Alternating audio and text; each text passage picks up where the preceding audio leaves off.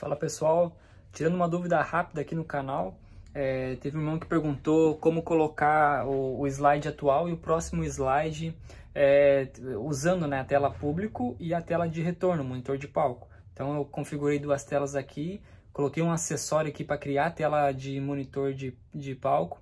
Vocês vão ver aqui como é que ficou isso aqui e como que pode ser configurado da forma correta para você fazer essa projeção. A conexão foi feita, então, uma, uma TV está no HDMI e o outro eu fiz de USB, né, transformando essa, essa tela né, com HDMI aqui na ponta. Então ficou a tela 2 e a tela público, que seria, vamos dizer assim, esse aqui é o data show da igreja principal, né, que o, todos os irmãos vão ver, toda a igreja vai ver. E aqui seria a tela de retorno do cantor, do, do pastor, tá? Então aqui eu só identifiquei elas aqui para nós poder ter essa visualização. E basicamente, ó, a tela público, ela vai fazer a, a projeção normal, né? Aqui você escolhe o monitor de apresentação principal, né? Então você, você escolhe qual que você quer. E vai aparecer, se você tiver mais do que um é, monitor conectado, vai, vai aparecer aqui.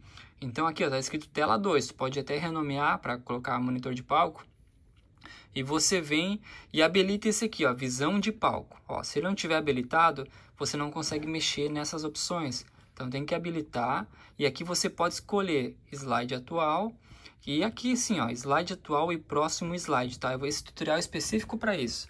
Então a gente pode fechar aqui. Eu vou dar dois cliques para poder abrir, abrir a projeção e olha lá.